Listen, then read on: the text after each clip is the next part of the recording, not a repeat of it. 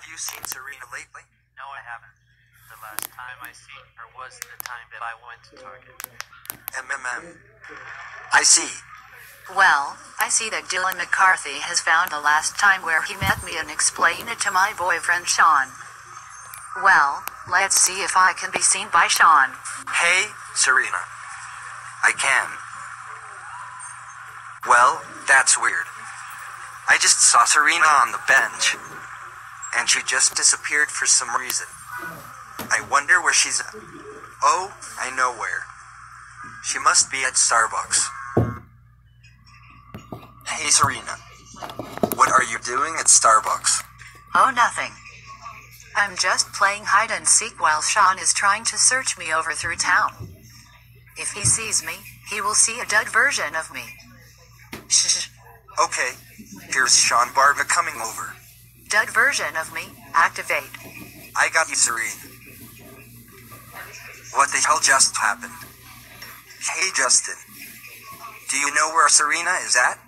I see that Serena was going to the left. All right. Thanks. Get ready for next month for the third annual character.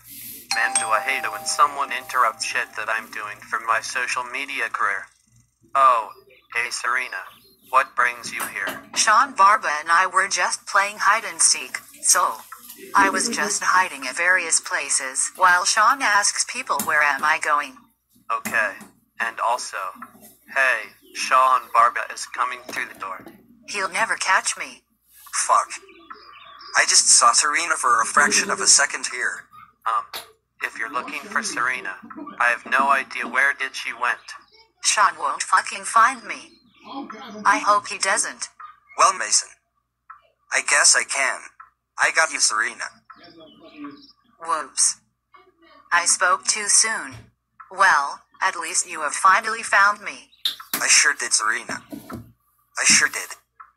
Anyways, let's head back home. That was the best hide and seek we ever played around Fort Worth City. I can't believe that we did it for the first time ever. I agree. It was fun while it lasted. Yup. And now, time to eat chicken strips with barbecue sauce. All right.